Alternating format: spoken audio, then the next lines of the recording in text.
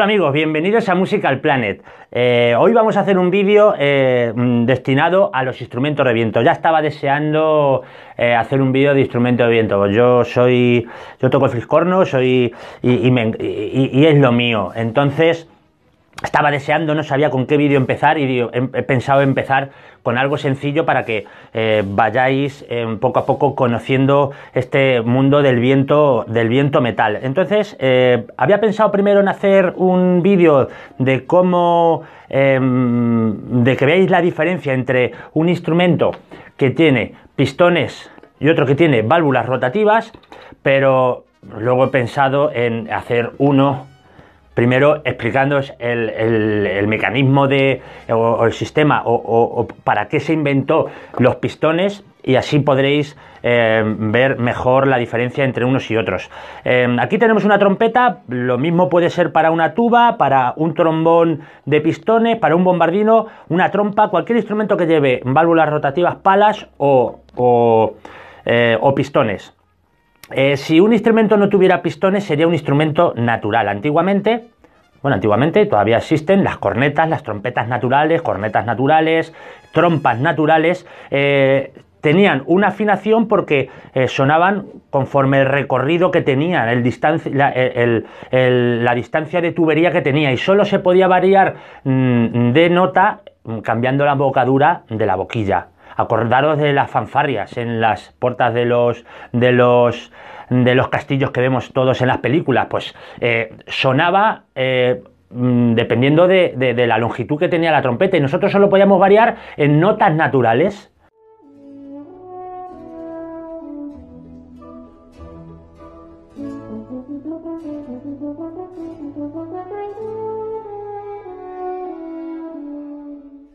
pues a alguien se le, se le ocurrió que si cambiábamos la longitud de distintas tuberías, variábamos el sonido. Imaginaros una persona que es muy alta. ¿Veis? Una persona que es muy alta, los jugadores de baloncesto que tienen eh, una voz mucho más grave. ¿Por qué? Porque su columna, su columna eh, de aire, sus cuerdas vocales, sus cuerdas vocales son mucho más grandes. Si una persona muy pequeña suena más agudo, pues en este caso es igual. Un instrumento que tiene eh, Contra más largo es el recorrido, más grave es. Entonces, si nos utilizamos de tubillos más pequeños y acortamos el recorrido del aire, lo hacemos de que suene más agudo o más grave, dependiendo, bueno, pues nos, ayudaría a subir o a bajar dependiendo de la nota en la que estemos. Entonces, bueno, os lo explico. Un, un pistón es un es cilíndrico, como podéis ver aquí, con distintos agujeros. Entonces, cuando nosotros lo pulsamos, esos agujeros canalizan el aire o bien por este tubo o bien dejándolo pasar hacia adelante y continuando todo su recorrido. Voy a intentar explicarlo bien para que, para que lo entendáis. Eh, los pistones están unidos a la tubería principal del instrumento. Como podéis ver, por aquí pasa. Y si no tocamos ningún pistón, el aire continúa hacia adelante hasta que sale por la campana. Y ahí toca, pues en este caso, si es una trompeta en si bemol, pues tocaría en si bemol. Ya haremos otro vídeo explicando las, distintas, eh, las distintas afinaciones de los instrumentos. Si fuera en do, pues al aire sonaría un, do. Y cuando pulsamos eh, mm, eh, vuelvo a donde estaba. Los pistones están unidos a la tubería principal y a la vez y a su vez a unos tubillos como estos.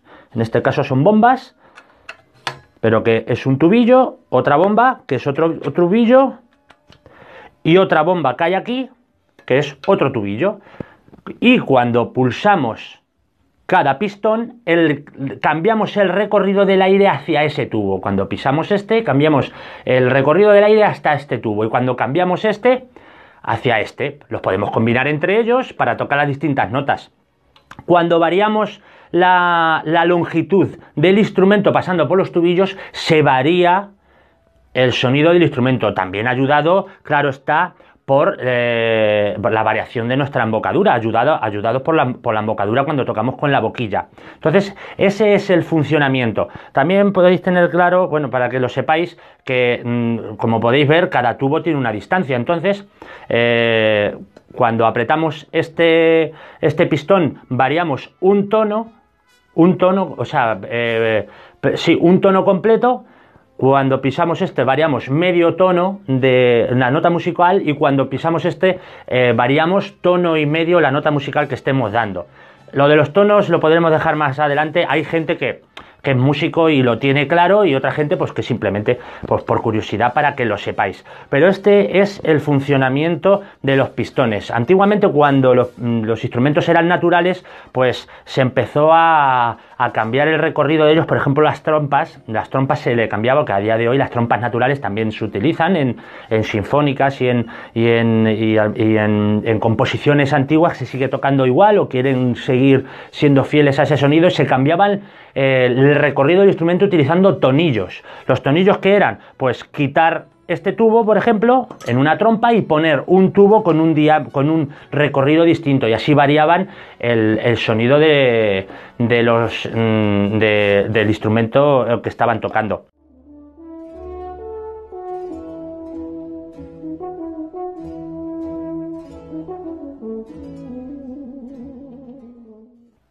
Entonces creo, creo que os lo he explicado correctamente. Luego haremos otro vídeo eh, explicándoos la diferencia entre los pistones y las válvulas rotativas para que veáis que es más o menos igual. Pero bueno, lo que quería es que primero tuvierais claro el trabajo que hacen los pistones en un instrumento mm, de viento y metal. Y espero que, os, haya ayudado.